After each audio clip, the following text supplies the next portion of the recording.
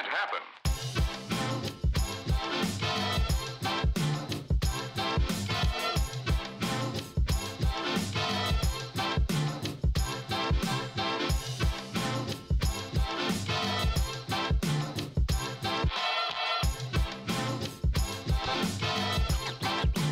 Let's get scratching.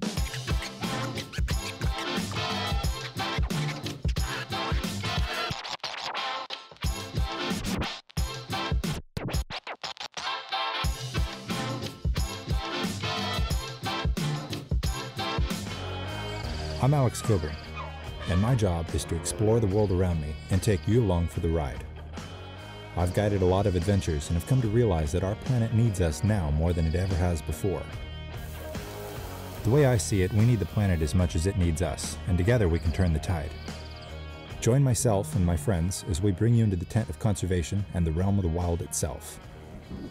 And along the way, we'll be exploring wild things in wild places.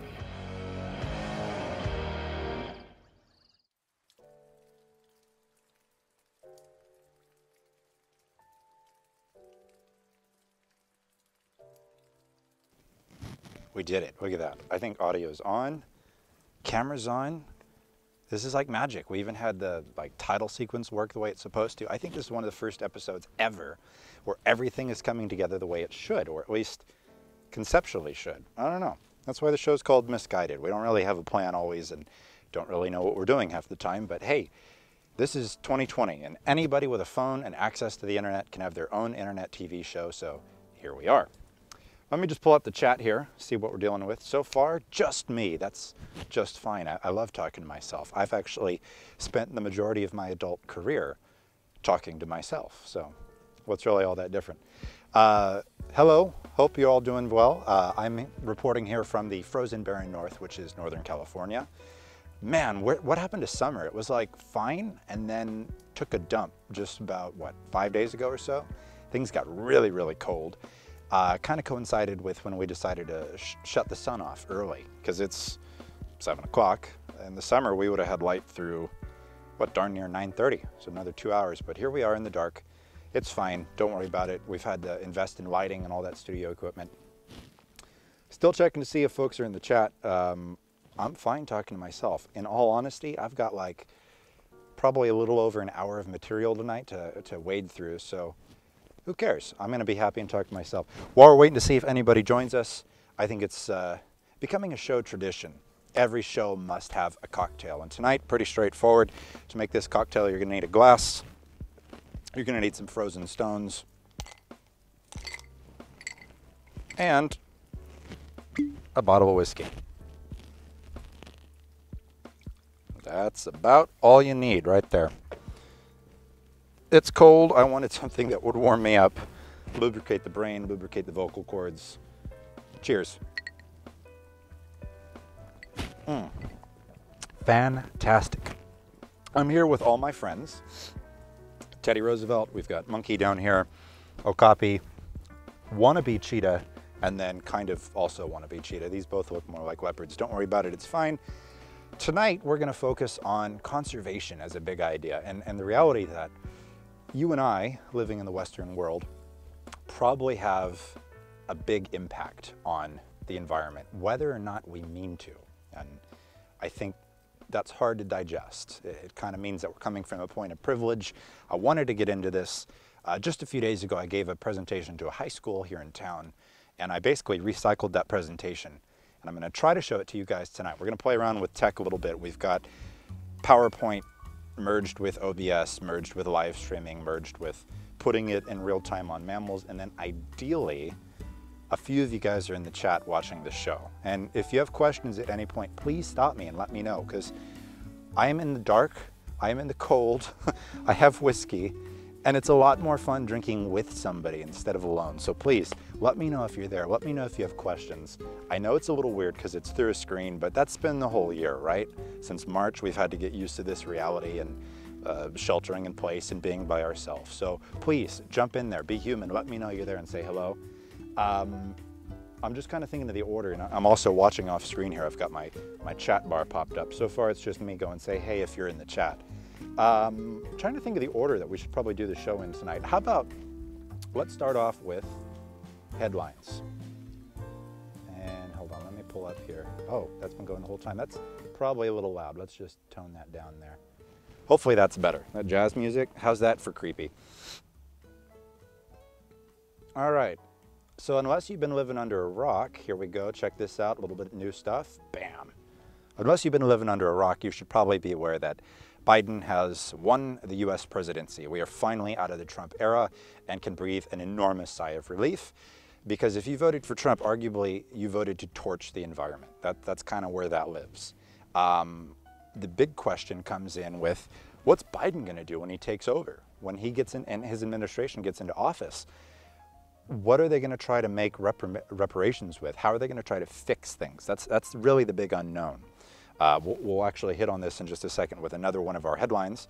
Um, but I'd, I'd be really keen to see, first off, join the Paris Climate Accord again. Why we ever bowed out of that, I am baffled by. Let me pull my comment bar up so I can, there we go. Oh, still just me, that's fine.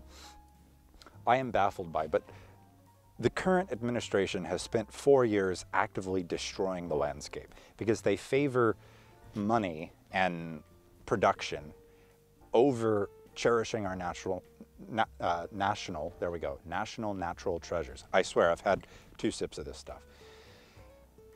And I think those of us in the conservation world need to back up and realize that, yes, there's probably a point where you have to kowtow a little with the folks doing business and, and work with them. Compromise is really important. America allegedly is built off that.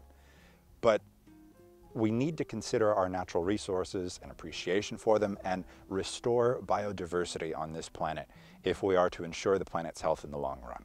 And I can guarantee you that mining things out, fracking, and logging out forests entirely is not the way to go. And that's been the entire Trump administration approach to what we're doing. Um, so I'm very much hoping that Biden and his administration make time and make a point to try to rectify some of that. I see it's still just me in the comments. Maybe politics was a strong way to start here. Let's, let's bump to something happier here. I'm pretty happy about this. South Africa is officially open again to international travel. That might be a little weird considering we're going into what's considered like our worst slump with COVID so far, but how awesome is that, that the bush is finally accessible again? I don't know about you, but I'm currently planning my next trip out there. I'm gonna do my best to make sure that it's all COVID friendly, but you know, I was just in Hawaii a few weeks ago. Flying was a little sketchy mentally, but once you were there, it's the same as being here, really. You just follow the rules, keep your mask on, uh, doctor's orders, right? That shouldn't be that hard. Hello, Mom. Glad you uh, glad you made uh, time to stop by. We're talking about uh, the headlines first. We're doing kind of just a wrap on the news.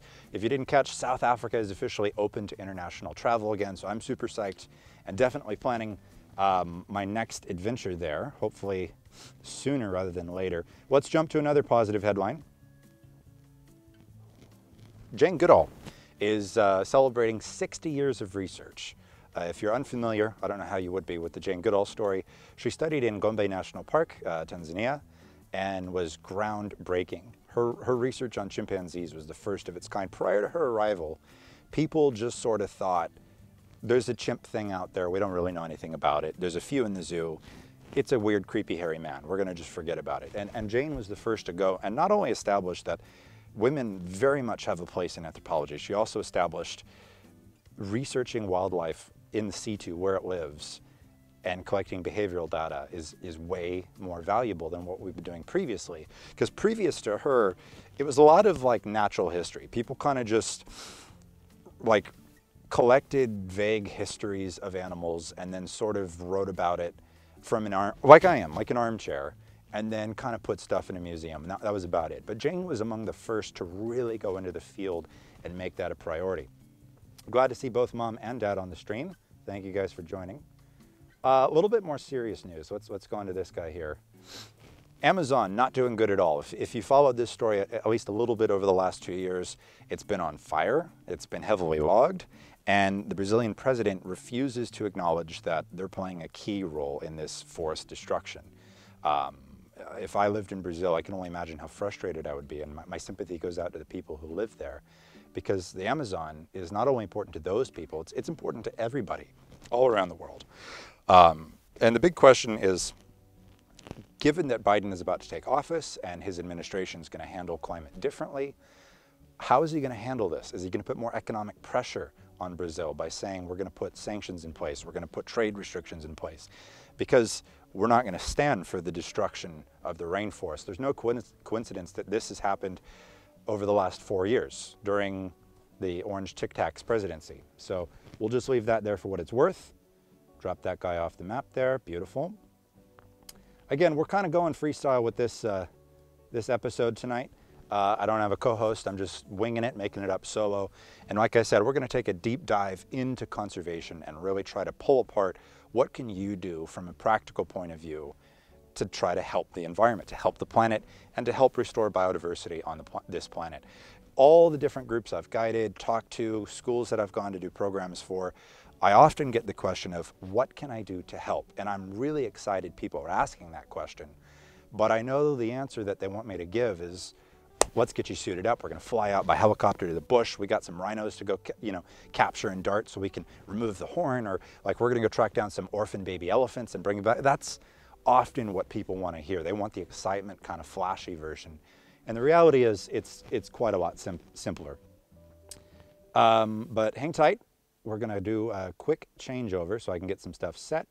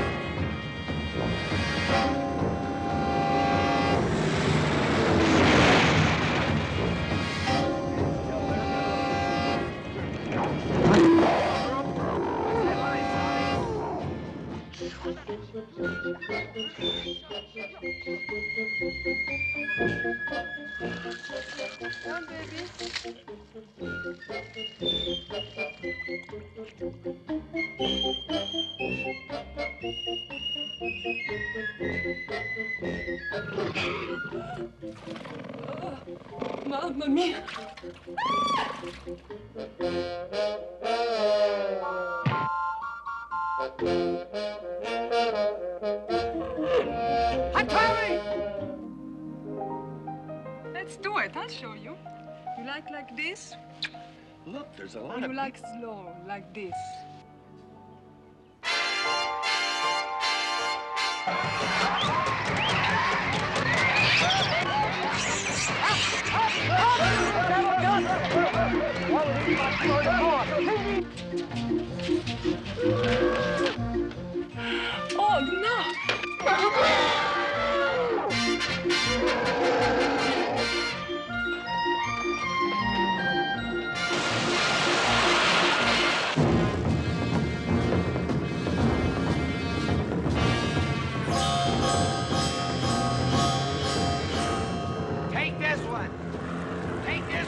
One,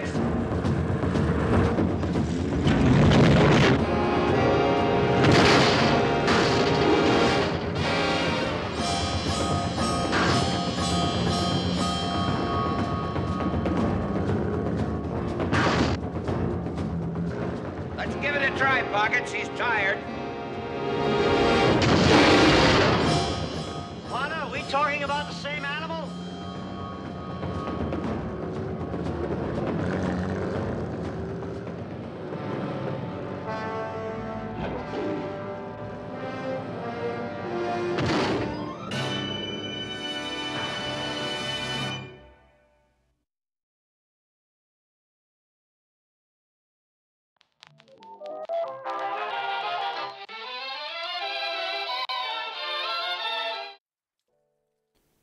Okay, we're just making sure all of our mics are on, everything's good. We're gonna go ahead and switch over to this view. Let's see how that looks. Oh, that's pretty cool. Three small things, that's what we're after tonight. Three small things you can do to change the way that you impact our planet. That's, that's really our focus tonight. And I'm also messing around with, can I use PowerPoint, which is outdated, right? It's, it's an old medium. Can I use that in a live stream and make it effective? So I'm up at the top of the screen. We've got our title down there on the, the left, and then, yeah, there we go, right there, there. Uh, State of the Wild, right? Our planet and you. That, that's really what we're trying to get after tonight. So hopefully this all continues to work the way I think it will. Uh, seems to be. I'm just double checking my audio. Perfect. It looks like it's still running. Excellent. Now remember, if you guys have questions, jump in there. Let me know. The goal tonight, we're going to try to cover do you really need to be concerned? Yes, you do, Karen. Why are you so doom and gloom, Mr. Science Man? It's not that bad, really. We've got to focus on the negative in order to understand the positive. Okay, but what's conservation? Big question there. Hope, and we'll finish with what can you do to help? Three small things. That's, that's really it. So we're going to jump, jump straight into it here. More recently, scientists at the UN uh, Convention on Biological Diversity concluded that every day up to 150 species are lost, which could be as much as 10% a decade. That's pretty startling numbers. If we backpedal and just kind of consider on a normal cycle of how the world works, you would see about every every thousand years or so, every few thousand years, maybe one species goes extinct until you hit big, big waves of mass extinction. And so far on Earth's history, there's been five mass extinctions. But one thing to consider is that the Earth is some, I'm trying to remember off the top of my head, 13.6 billion years old. It had to go through cycles in order to get where it's currently at. We live in an era called the Holocene, which is an era that's noted for stability. Hold on here, I see that we've got a comment. Dad likes technology. Well, I'd be happy to share with you, Dad, uh, how I'm doing it. It's actually really simple and all of it's free. I'm doing it with a phone. My, my phone there is the camera. My computer is just off to the left here. Uh, and I'm using a program called OBS to, to run the show together. And it's very flexible. You can use it to stream to, to Zoom or any of those online uh, programs that I, I take it most people are using right now to communicate. Um, but it, man, it's really slick the way you can put things together and kind of make it all work It takes a little, uh, a moment to kind of learn the tech, but once you get it down, it's very, very useful. Uh, hold on here, let me just pull that up. Running my comment bar so I can see it there. Oh, there we go, perfect. Um, where was I? Oh, mass extinction, that's right, yeah. We're in the Holocene right now, and the Holocene is noted for stable climates over an unusually long period of time and stable wildlife over an unusually long period of time. The other big factor that came into play in the Holocene are humans, Homo sapiens. We've been on the planet around 200,000 years. We had several different ancestors who were here before us. Homo neanderthalensis was our most recent. You know, you could backpedal to Homo erectus and Homo naledi and all those other cousins of ours. But in 200,000 years, we've radically changed the landscape around us. And things were relatively stable until about 1880 where things got really weird and the climate started shifting, which is in the middle of the Industrial Revolution. To understand conservation, sometimes you need to kind of understand a bit of history, what's happening in the human world, it's impacting the planet. And up until about 1950, we saw relatively stable levels of wildlife. But since 1950, things have really gotten strange. We're seeing numbers of animals disappear. We're seeing whole landscapes shifted and eroded. Half of the world's rainforests have been cut down since 1950. That's not good.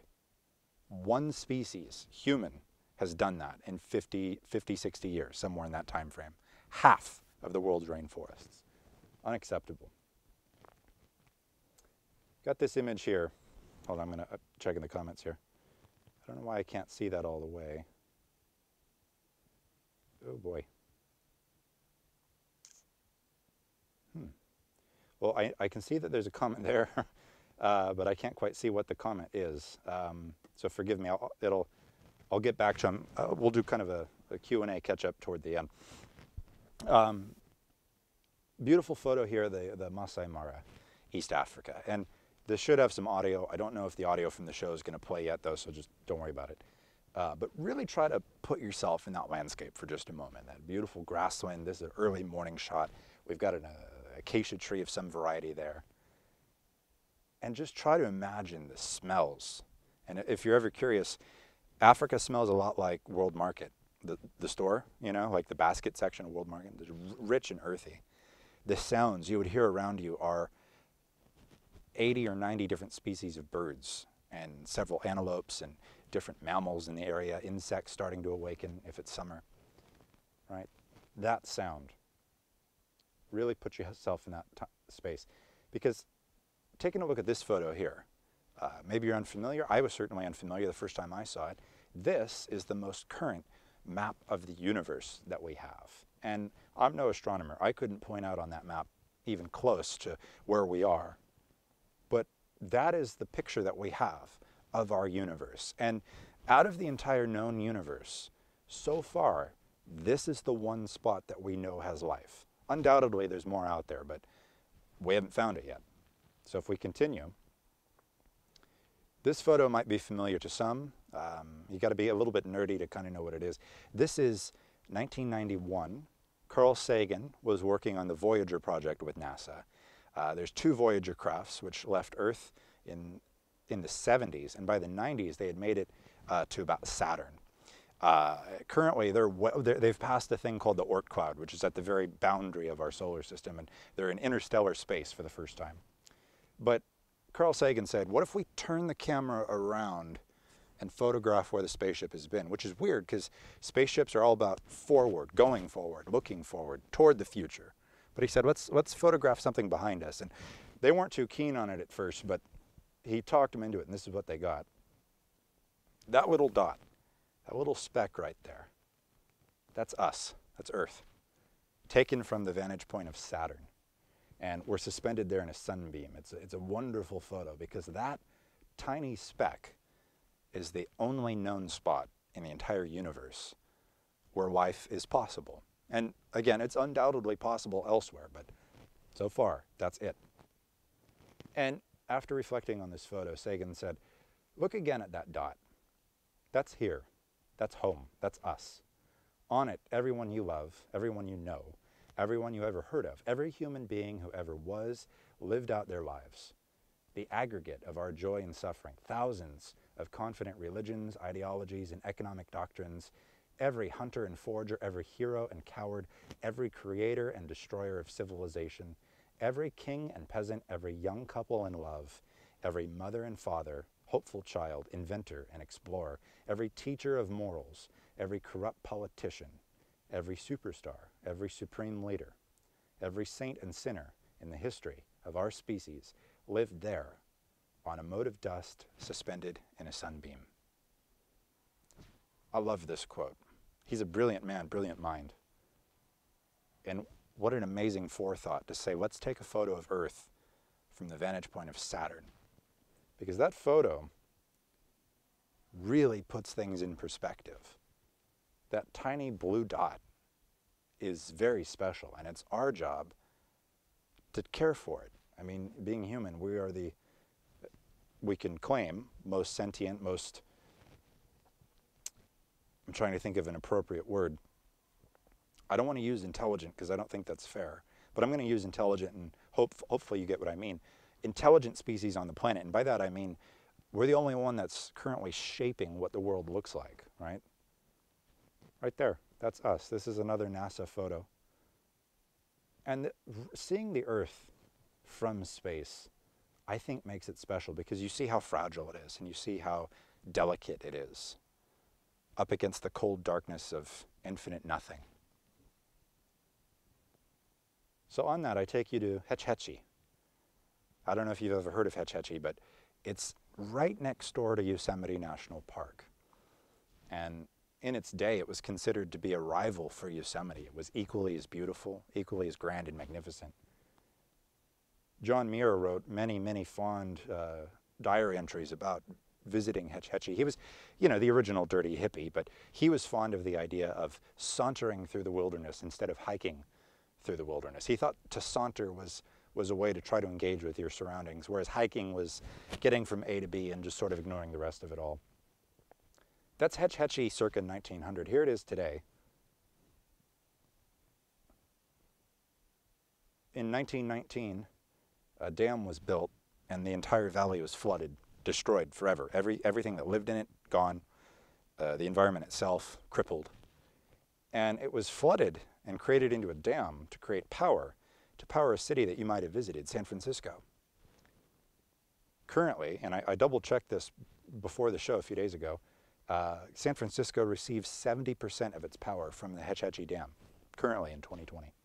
So again, it's no fault of you and I, but simply by visiting San Francisco and turning on a light or using street lamps or anything there, anything electric, you're partaking in the destruction of Hetch Hetchy. And that's not our fault, but it is something we should be aware of on some level and use that as fuel to try to move ourselves forward. Let's look again.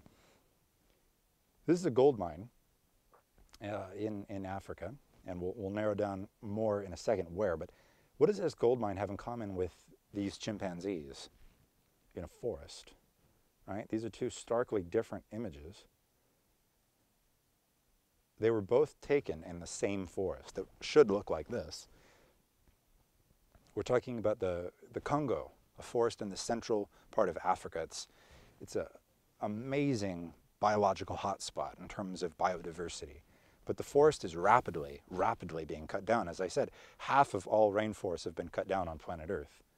And in addition to timber, which is useful, of course, for a number of things, you, you might be wondering, well, what could be fueling the destruction of the forest? Well, it's, it's simple. It's things like farmland to fuel uh, not only local crops, but industrial crops that'll go all around the world. But a little bit closer to home, and I'm currently partaking in this, gold is in, and other minerals are in things like smartphones, TVs, computers. And that's no fault of our own, but it's a simple fact. Gold from the Congo is in that phone that I'm talking you to you through right now, and in this computer where I'm running my show. We can't help it. We aren't the ones that design this technology, but we're benefiting from this technology. People all over the world are benefiting from this technology. So it's something to be aware of and to ask questions of. If you're from California, I'm not sure who's watching the stream. I can't quite see all the comments and nor do I know actually who's actually watching or how many people are watching. So again, if you're there, drop a comment, say hello. I can't quite see them, but I'm to circle back and, and, get back to all your thoughts because I want to include you guys in the conversation. But if you're from California or if you're into flags because you're weird, this is the California state flag. And I could totally go down the rabbit hole of its history, but instead I'm to focus on the bear right in the middle. Do you know that that's actually a specific bear? That bear has a name, it's a real bear. There was an individual that lived here in California. But think, when was the last time you saw a grizzly bear in California? Ne never in most of our lifetime, unless you're, well, darn near a centurion by now. Because the last grizzly to be shot in California was in 1922, and the last grizzly to be seen was in 1933, and that was near Fresno. Someone saw it going into the woods and then never saw it again. So we're not really sure what happened. William Randolph Hearst, which is a name that you might be familiar with, big media guy, commissioned a hunt to find, quote unquote, the last grizzly in California. And they caught one near Santa Cruz. And that's that bear on that flag. This is Monarch, like the, the butterfly, Monarch the grizzly bear. And he was toured around California until he passed. And then his body was taxidermized and is currently housed at the California Academy of Science in San Francisco. So you can make an appointment to go visit the state bear of, of California, Monarch. Um, and the story of the flag, you know, 1915, they, they create this, but too far down the rabbit hole. I use this personally as like a rallying cry. Because when I look at the state flag of California, I think that's ridiculous. We've got an animal on the flag that doesn't live in the state because we killed them all, because we were afraid of them. There's room for both of us, in my opinion. Um, but I look at this flag and I think to myself, never again. As long as I have a, a way of trying to make a difference, I'm going to make it my goal to make sure that there's not another species on the planet that goes extinct in this fashion because I don't want that on my conscience. I, am going to say not on my watch. So find your own rallying cry, something that inspires you if this is at all of interest to you and make it your point because really, oh, there we go. The problem is us whether you like it or not. There are way too many people.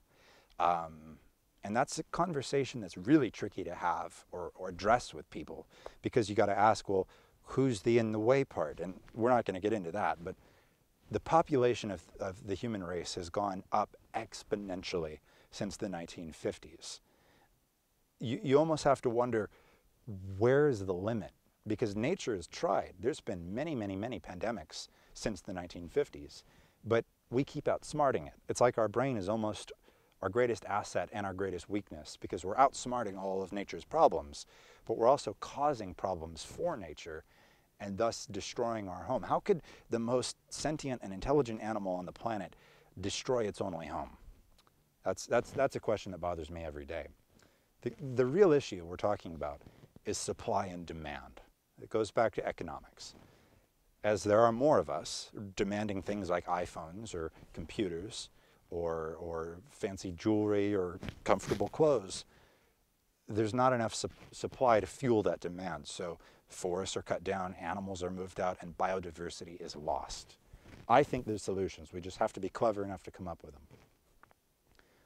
Let's jump into it. How many species are there? And I'm asking you guys actually kind of outright. So if, if you think you know, throw in a comment for me.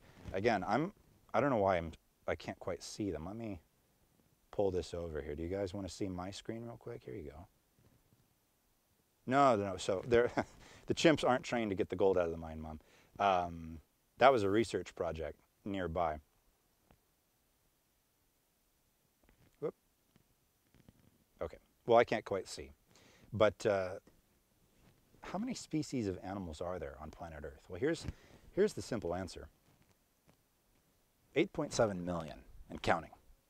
That's pretty cool, right? If, I mean, I've got the globe behind me here next to Teddy. 8.7 million species and counting. There's undoubtedly species we don't know about. There's species that have gone extinct without us really realizing. 8.7 million species knocking around the globe here. Pretty darn special. What's your favorite animal? If you're watching, throw in an emoji of something weird like, I don't know, a koala or an iguana. Um, let me know, what's your favorite animal? I'm very curious. Uh, mine is the elephant. I, I just, I've grown really fond of them and they're, I mean, it's kind of a cliche answer, but man, are they cool, especially when you get to see them in the wild. And we'll talk about that here in just a minute. And because I'm struggling to see the comments uh, in, in real time here, I'm going to keep jumping here. These are the five most popular animals according to numerous different reports that have done surveys of huge selections of people. And this is what they keep coming back with. Those five right there dog, dolphin, lion, horse, tiger.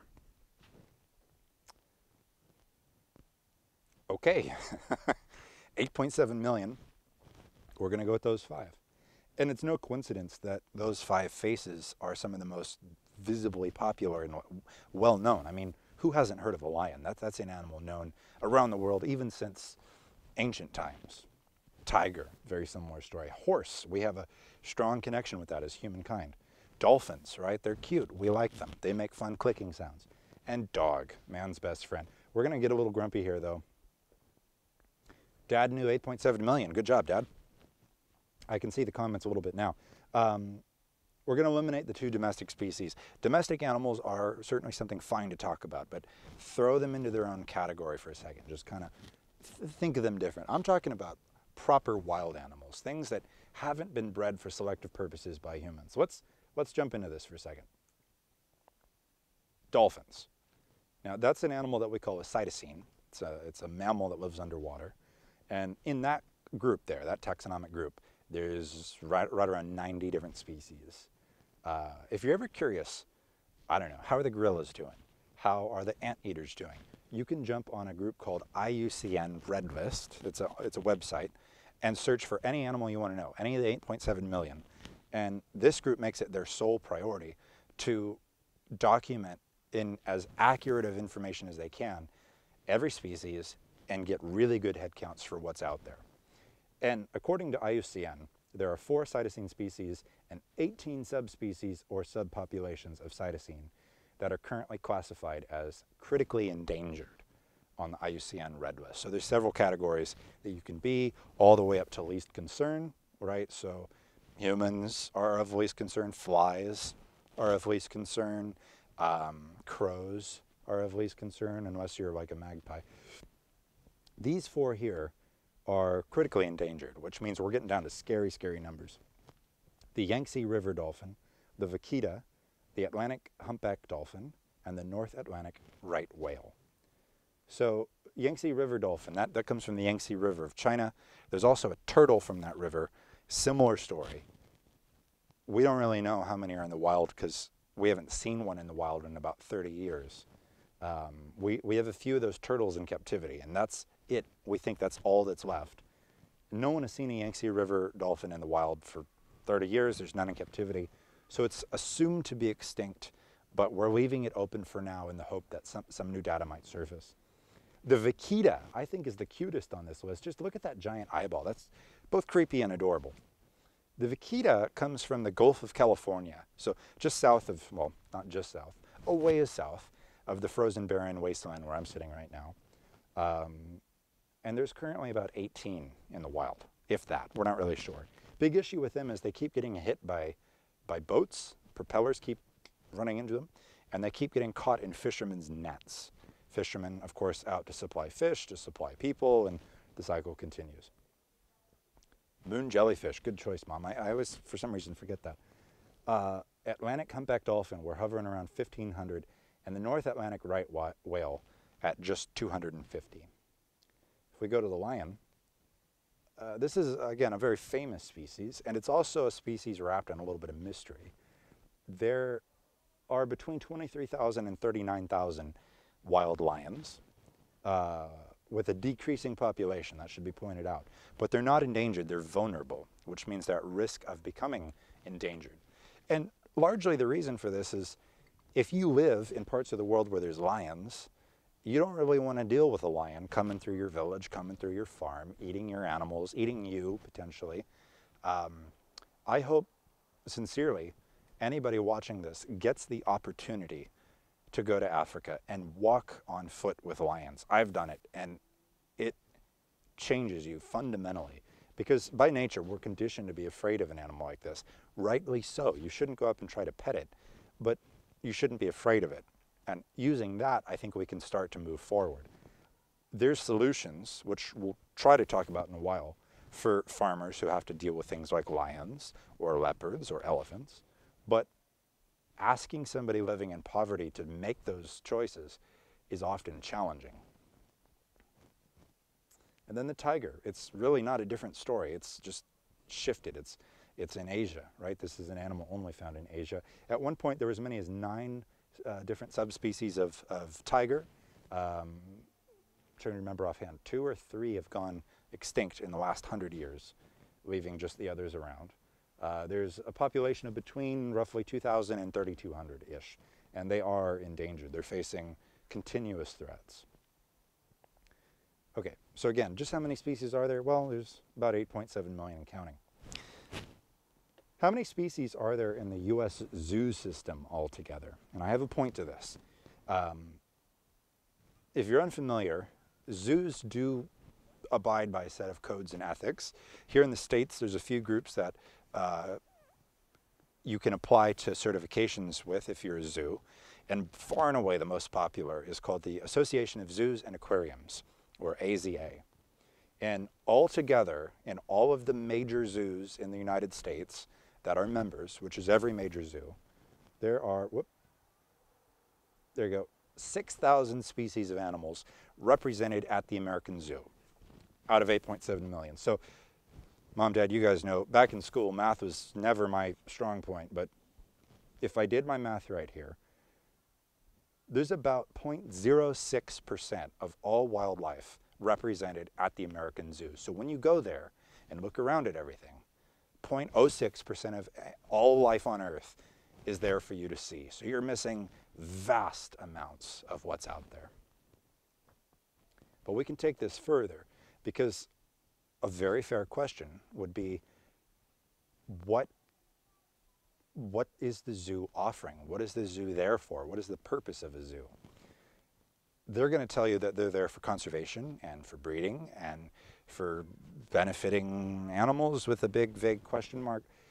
If you take the 6,000 and say, okay, out of these 6,000, how many of these species are actively being bred at a zoo and then released to the wild to benefit their actual wild counterparts. There's 115 what we call SSP, Species Survival Plan Species, out of 6,000. So there's 115 different species of animals that are bred in a zoo in the United States and then released to the wild at some point.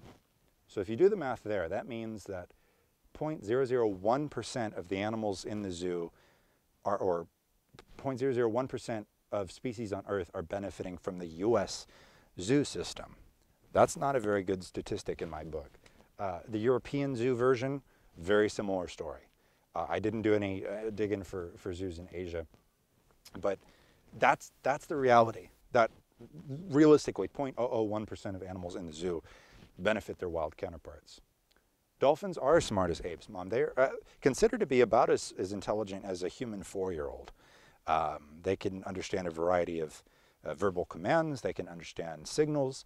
They can solve puzzles. They're incredibly intelligent animals. This clip here, or this uh, clip, this photo here, it's the San Diego Zoo. Perfectly fine institution. It's beautiful. One of my favorite parts of it is the fact that that zoo has sections that are built to look like their actual wild counterparts. So when you walk around the zoo mentally, you get kind of immersed into that setting. But take a, take a good look at this for a second here. This is uh, African elephants. And one of the ways you can tell are the ears. African elephants have ears shaped like the continent of Africa. Asian elephants have much pointier ears. And then this herd here is a mix. We've got, it looks like mostly females. That could be a very juvenile male there um, with his mother. I don't know. Oh yeah, the cursor does show up. Maybe right here. Here, that, that looks to me like it could be a juvenile uh, with a mother. Yes, my math was good. Thank you. I've redeemed myself a little bit. I've come quite a long ways from counting bears on the dining room table. Um, but this view of elephants in the zoo is starkly different from what you'd find in the wild. Uh, so I've got a clip here the last time I was in Africa. Let's see if I can get it to play. Oh, sweet. Okay. So the view that you're seeing there, that's inside the car. I'm the one driving. Uh, to the left there, that's uh, my buddy Kevin. And in front of the car is a mammoth, mammoth elephant. This is by far the largest animal I've ever laid eyes on. It's a bull in musth, which is a breeding cycle the males go into where they get full of testosterone and pursue ladies. So just before this male had arrived, off to the left of the vehicle, we had arrived on a big herd of all females and little ones having a great day. And elephants make this kind of low see if I can kind of do it. It's like a kind of sound that you can hear. It's a, it's a tummy rumble is what it's called. You can hear it rippling across the fields at a very low frequency. It's just this really comforting sound. But then we noticed everybody got quiet and still, and the attitude shifted. And off in the back, coming out of the bush, was that elephant, that male, that giant guy. And immediately I could see, even from that distance, that his temporal glands behind his eye, if you look carefully there, you can see it, were secreting oils, which tells you he's full on in musth. He is ready to breed. And the matriarch elephant suddenly got all up and was like, nope, and walked off. So she had walked across the street to the right of our vehicle. And then this big friend showed up. And we've got just this clip here of this, this encounter.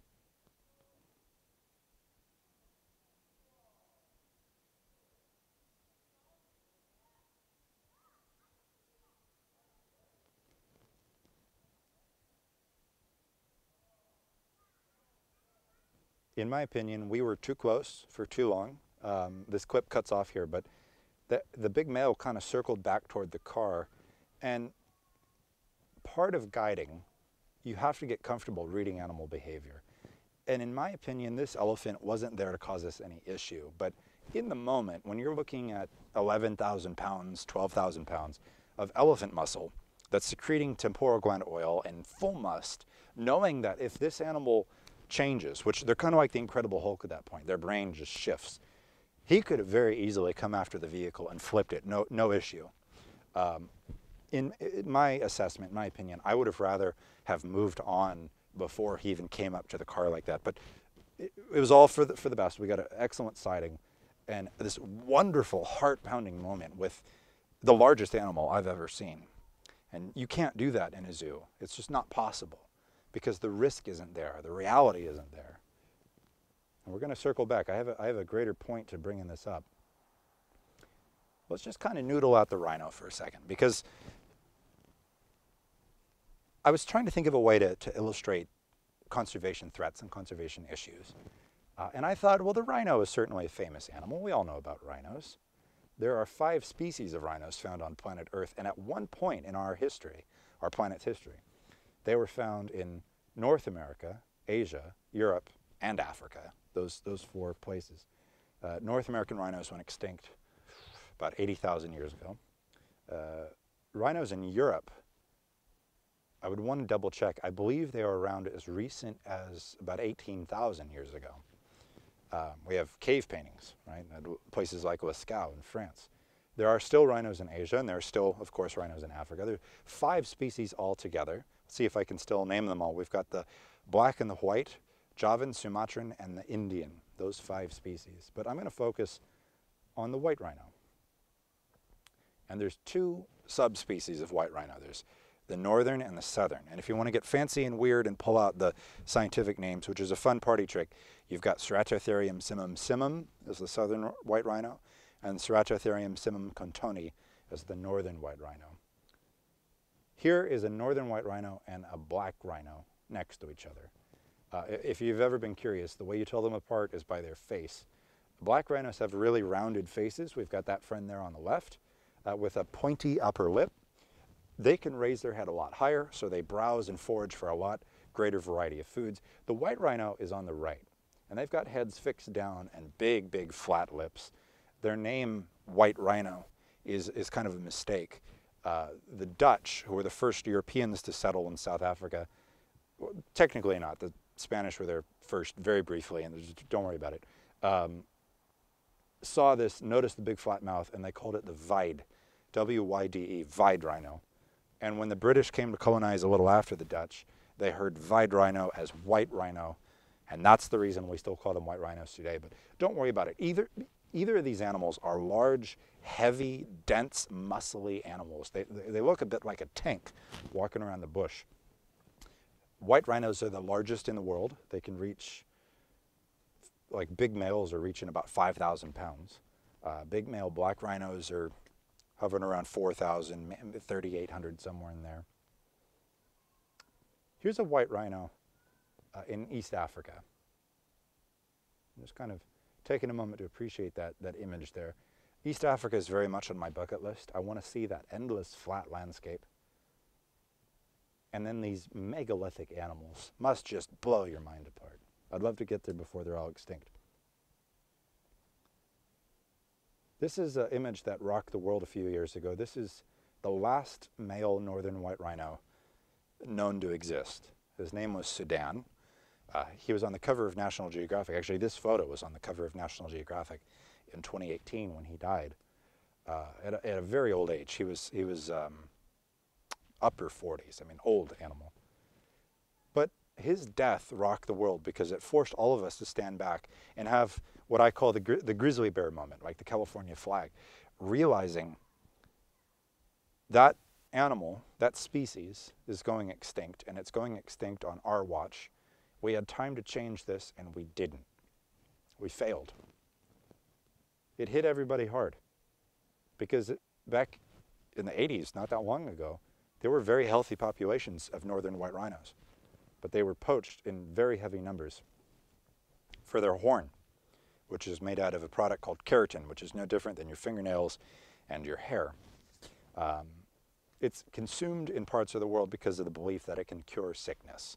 And this would be like saying that if you had COVID or a toothache or a fever or the flu, you could rip the hair out of your head and eat it and cure the sickness. And it doesn't work that way. But notice here on the screen, we've got $60,000 per pound US dollars.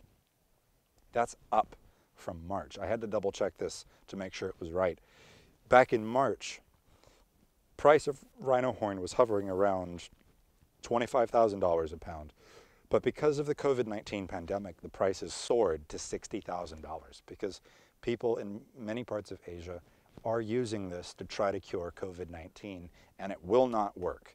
And the scary part is we don't really know what's happening to wild rhinos because we don't have good data yet to tell us what's happening in the field as, in regard to poaching. What we can see is this chart here. So Taiwan was, and China were a long-standing traditional market for rhino horn. And that was driven down in the 90s and early 2000s to basically non-existent. So if you look at the data here, we can see that in 2006 and 2007, about 60 rhinos were poached for horn. That's, that's really not bad. That's way down. That's, that's good news. But then Vietnam emerged as a new consumer of rhino horn. So 2008, 2009, all the way through 2015, the numbers of rhinos poached went up every single year as Vietnam demanded more and more of that product. And the, the people consuming it are young guys my age in their 20s, consuming this product as a hangover. So, you know, as I sit here and sip my whiskey, they are consuming it as, as a status symbol. Generally speaking, these are men who understand that there is no medicinal value to it, but the, the thought of having it, the, the ability to show off, it's like having an iPhone 12 or a Ferrari or Apple Watch or whatever. It's, it's a, you're showing off for no reason. Drove the demand up. So conservation groups began to work on this issue and notice that nice bell curve there. We're back to math. That went down since 2015 to last year, 2019. Less than 800 rhinos were poached for horn, which is awesome. But the big wild card is 2020. We don't know what that's done to rhinos. We don't know how many have been poached. That data is still being collected. Uh, I assume by early 2021 we'll know a little bit more. You have to ask, what forced that to come down? This group here, Wild Aid, changed the game.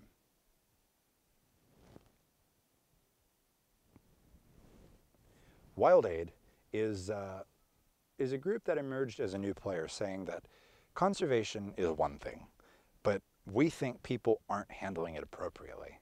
We think that a better way to approach this is hands-on marketing. So they, they basically started with a slogan, when the buying stops, the killing can too, straight to the point. And then let's come up with advertising that, I get this, people recognize and people know. We're going to make that our jam. We're going to make that the way we engage people. And it worked. If you look at the data there, it drove poaching down for animals like rhinos. It drove the demand for ele elephant ivory down. I'm not going to play these videos because I don't have a way to connect that audio right now. But they, they, just illustrate what Wild Aid does. But again, 2020 is the wild card.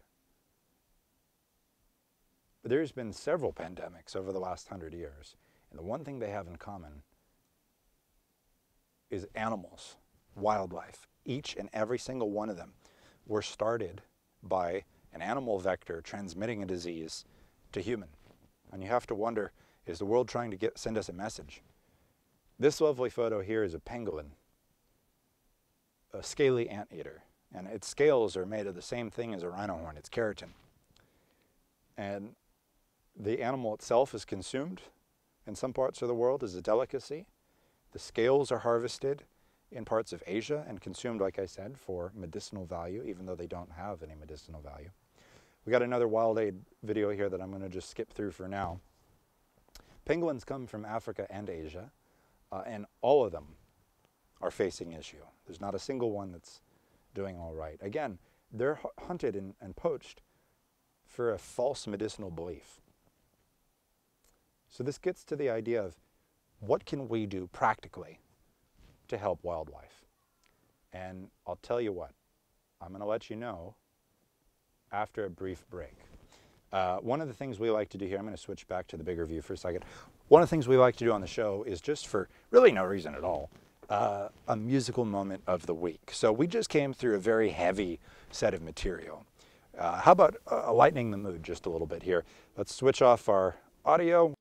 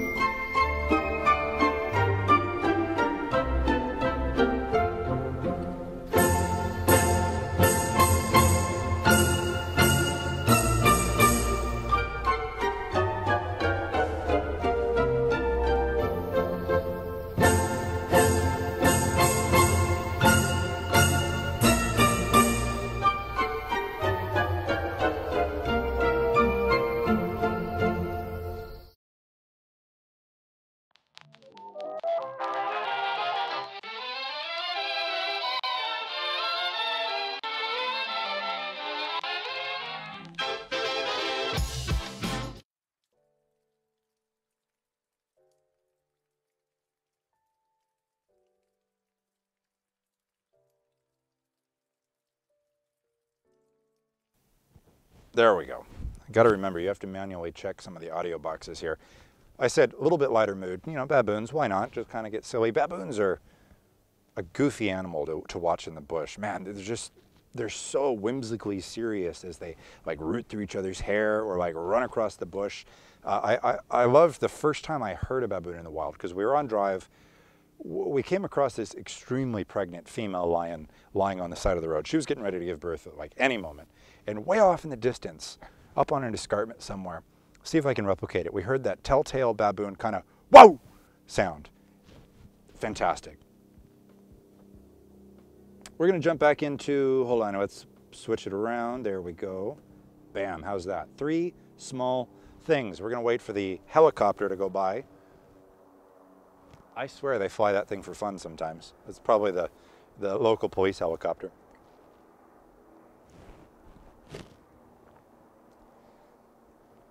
Three small things that you can do right now to make a serious impact on our planet in a good way. First, eat a little less meat. Let that sink in for a second. Eat a little less meat. I'm not saying eat no meat. Think about it, right? The, the human anatomy here, our dentition, is established to consume a variety of foods. Actually, this is why we outcompeted our ancestors. We had some bizarre cousins that had ginormous molars for crushing nuts and plants, and they didn't survive because there wasn't enough force for them to eat, eat throughout the year. There were other previous human ancestors that had teeth shaped for, for maybe more meaty things that didn't make it because that, that isn't a sustainable diet for us. What we have is called generalized dentition. We've got incisors at, front, at the front for biting and snipping. We've got, uh, or, yeah, what are these? Um, the pointy ones. How come I can't remember off the top of my head right now? Canines for ripping into things and tearing, and then we have molars for crushing. We have a really good setup in our mouth for eating a whole variety of food. Um, so I personally follow what I call the chimpanzee diet or the gorilla diet, whatever you want to call it, bonobo diet, which simply means eat mostly plant things when possible, eat some meat, because chimps definitely eat meat. Chimps will cannibalize each other occasionally. They catch monkeys, right? This is cool. In the 80s and 90s, we found that chimps would fashion spears and literally hunt monkeys. Um, so eat mostly plant things, eat nuts, right? And then a little bit of meat. Not no meat, just less meat. Because from a sustainability point of view, beef is a major impactor on the environment. The amount of land it takes to raise cattle, the amount of resources it takes to grow the cattle, the emissions the cattle put out. If we're going to do that at an industrial scale to make sure that everybody in the Western world has access to as much beef as they want whenever they want, you're damn straight that's going to have an impact on the environment. But if we all demand less, the supply is going to adjust itself to match accordingly, right? Pork and eggs are two others, all right? All three of these are very popular. But if you're living in a Western country, those three items right off the bat, if you just reduce the amount that you eat, not eliminate them, but just reduce the amount that you eat, you're going to make a big impact on the planet in the long run because the goal would be to get everybody to do this, not just one or two people. Vote. And I mean that in two ways. I mean literally vote for people who are going to make positive choices for the environment and for the planet and for your own health and well-being. Why you would ever vote against that is beyond me. And then also vote with your money. That's, that's equally important in my book because when you spend money on items, you're voting and telling a company, we value this, we value the way it was made, we value what it's made with, right? If you don't believe me, go into Costco for, for just a fun day trip and look around at the amount of excessive waste that's everywhere, the amount of single-use plastic. Every time I go in, I, can't help but notice that they, they feel the need to take apples and shrink wrap them into a sheet of plastic. You get about eight apples shrink wrapped in plastic. Why? There's companies out there that make bamboo products that are completely recyclable and reusable in some capacity that brands like Costco could be switching to, but they, for now, choose not to because when we go and spend our money, when we vote there, we're telling them that all these other options they're using are fine and we're okay with it. So voting with your money is a powerful tool, but also literally vote for people that are going to make a difference. And then go places, see things, travel. And I know that right now might not be the best time for that. COVID is certainly a, a, a challenge and a hindrance. But meet people, experience wildlife, and treasure our world. Um, I'm, I'm, you know, not that old. I'm late 20s, but I regret that I didn't make a priority of traveling more frequently through through my young adulthood so far. Because what I've realized in the adventures that I have taken is the, the people I've met and the interactions I've had have fundamentally changed me and opened my eyes. Um, I got my safari guide credentials uh, at a reserve called Mongena, which is north of Johannesburg, South Africa. And right outside of it, there's, there's a township called Hammanskraal. And I've thought about Hammanskraal every single day since I've been home from that adventure because I didn't really understand what poverty could look like until I saw Hammanskraal. Um, and I'm not going to try to describe it right now. But what I'm saying is that the, the experience of being there and putting myself in a position where I can interact with those people allowed me an opportunity to try to understand who they are. And I'm not saying I'm right or I have some kind of moral high ground here, but what I'm saying is that when you put yourself in those positions, you can't walk away without being changed in some capacity. And I think if each and every one of us was able to travel and see things, see animals, see places, meet people, the world would get a heck of a lot friendlier because people wouldn't be strangers. We would know more about one another and we might solve some of the personal issues we seem to have, cultural issues we seem to have, and ultimately our environmental and sustainability issues. So those are the three simple steps. Eat a little less meat, choose to eat a lifestyle that's going to benefit our planet, vote literally and with your money, and go places. And beyond all, go wild. I think you should always make a point of trying to introduce yourself to wild stories, wild experiences, understand our impact and, and um, place in the world. And with that, you will go far. So I'm going to pull back my uh, main screen here. There we go. This will enable me to move things around. Let's just see if there's any juicy comments there in the comment bar. And we're going to wrap this puppy up because we've hit about our hour mark. Let's see here. What do we got? Octopuses are intelligent. Yes. Those sea things are can do. I hope so. They're, they're not hard. Um, when I first was exposed to the idea, for example, of eating less meat, I thought, okay, that's tough. I love meat, but how can we make this a can do? I like that attitude. So I said, okay, first thing what we'll do is I'm going to say, let's not eat beef more than four, maybe five times a month, a handful, right? That's maybe once a week if you do the math. Not a big deal, right? So you do maybe some beef, chicken. Chicken is super, super useful and, and wonderful because it takes less space to grow. It uh, is easier to produce, doesn't have the same impact on the landscape. So throw in some more chicken, throw in some seafood, right? Make sure it's sustainable. That's a whole, we'll do a whole nother show on that sometime, right? And then reduce pork and eggs when possible. So ideally what I try to eat now is one night or one whole day vegetarian, uh, do a pescatarian day, a day with some meat, right? Keep it kind of light for the other days, kind of sprinkle things around. And ultimately, it's going to do the planet good and, and you good. You feel better for it. I mean, that, that's a pretty cool way to, to kind of look at it all. So, I'm about at the end of my material here. I'm just kind of pulling up the rest of what I've got. There we go, just pulling that around. Bam, there we go. Well, if you stuck through the whole show, I certainly thank you and uh, tip my hat to you. Uh, it's kind of like the uh, hour-long rambling madman show. Usually I've got a counterpart here and we interact more in the whole nine yards. But tonight, just me. I thought I'd get on my soapbox, talk a little bit about conservation. Um, if, you, if you're watching this in syndication, thank you. I appreciate that you sat through an hour or however long you sat through. Um, I know the comments are going to disappear and change a little bit. So if you're watching it in syndication, please still ask questions, get involved. Tell me what you think. Maybe I was wrong about stuff. I'm totally willing to stop and, and reassess and have a conversation about it. So I'd love to hear from you. Send me a direct message if possible, or or, or throw something in the chat. Let's let's get nerdy. Let's talk about the wild. Um, but with that, guys, I'm gonna say goodnight, and uh, we'll